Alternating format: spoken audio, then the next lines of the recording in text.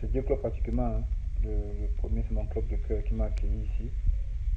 Euh, Bloemfontein Football Club. J'ai fait pratiquement 11 ans dans, ce club-là. Et pour changer un peu d'air, je suis allé à, à United. Et ça fait 7 mois que je suis là. Donc, euh, ouais, c'est un peu ça. Il s'agit de ces deux clubs-là. Je pense que